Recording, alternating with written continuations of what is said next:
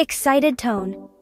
Well, hello there, world. What a beautiful day it is to learn something new and exciting. Are you ready? Because today we're going on a journey into the magical land of alphabets. Animated tone.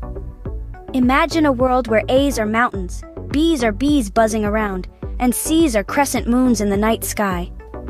Every letter has its own story, its own personality, its own little world.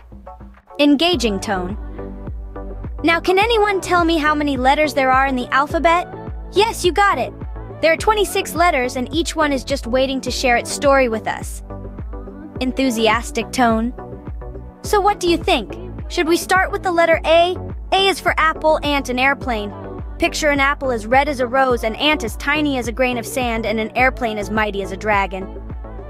Interactive tone. How about the letter B? BB is for ball, bird, and butterfly. Imagine a ball bouncing high into the sky, a bird singing a sweet melody, and a butterfly fluttering in a field of flowers. Excited tone. And let's not forget about our friend. The letter CC is for cat, cake, and car. Picture a cat as fluffy as a cloud, a cake as delicious as a dream, and a car as fast as a comet. Questioning tone. Now, who can tell me what their favorite letter is?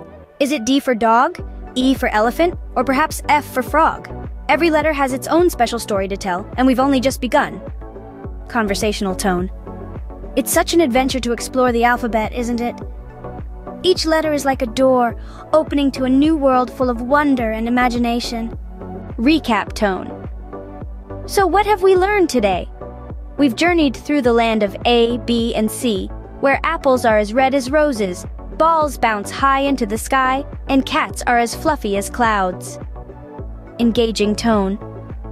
And we've discovered that each of the 26 letters in the alphabet has its own story, its own personality, its own little world. Closing tone. Remember, every time you learn a new letter, you're opening a door to a new adventure. So keep exploring, keep imagining, and most of all, keep having fun with the magical land of alphabets.